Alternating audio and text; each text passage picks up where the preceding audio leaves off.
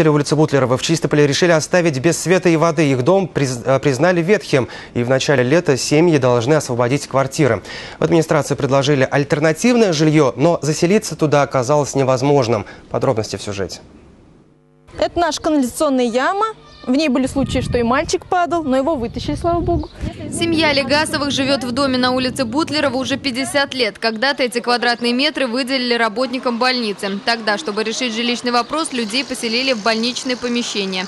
Постепенно люди обжились, и хотя условия не ахти, переезжать никто не хочет. Но, судя по всему, придется. По решению суда квартиры нужно освободить. Дом признали аварийным. Здание признано аварийным.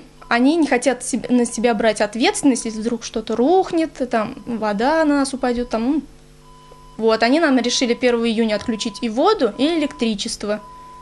А какие нам на время предложили, это еще хуже нашего.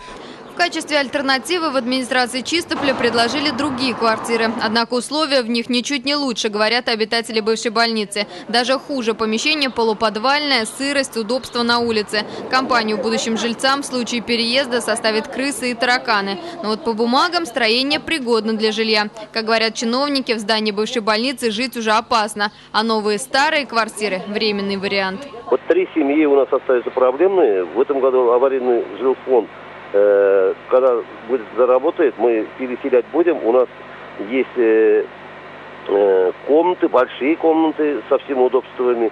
Э, возможно, вот их мы туда переселим.